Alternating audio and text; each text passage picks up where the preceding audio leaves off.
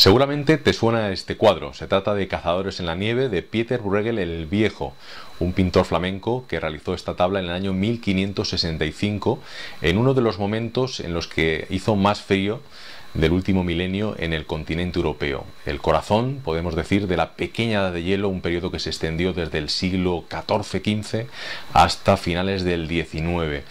Este cuadro se utiliza con frecuencia para ilustrar precisamente ese periodo frío de la historia de Europa y en él nos sorprende un detalle y es que aunque está ambientado en los Países Bajos, en lo que hoy es Holanda, vemos montañas nevadas. Esas montañas que aparecen ahí son los Alpes y esto es así porque ese pintor en uno de sus viajes los conoció, se le quedaron grabados y los retrató en este dibujo, en esta tabla y en otros cuadros de temática similar.